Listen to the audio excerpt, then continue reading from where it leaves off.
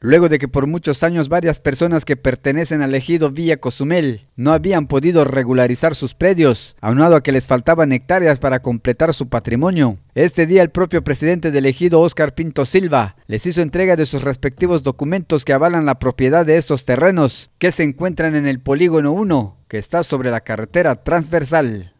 habían estado esperando que el ejido les diera las dotaciones de tierra que les corresponde por derecho que tienen en su derecho agrario,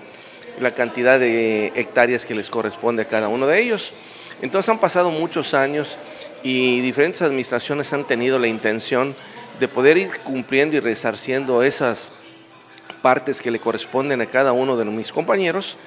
y esta administración se tomó la libertad de empezar a buscar dentro de los polígonos que tenemos para poderles dar las hectáreas que le hacen falta a esta gente. Cabe recordar que son terrenos que se le van a entregar el día de hoy, de 10 hectáreas a cada uno de estos compañeros. Por ahora fueron 11 los ejidatarios beneficiados, sin embargo en una segunda etapa se buscará apoyar a otros más, indicó. Tenemos como unas 25 o 30 personas más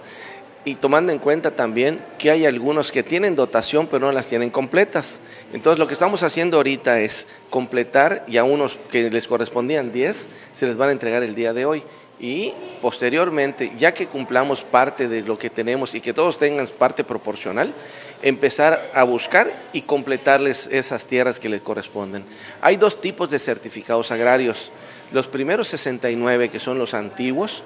su totalidad que le corresponde por derecho agrario son 90 hectáreas y los que entraron de último al ejido les corresponden dotaciones de 10 hectáreas, por lo cual son dos tipos de dotación que se manejan dentro del ejido Vía Cozumel.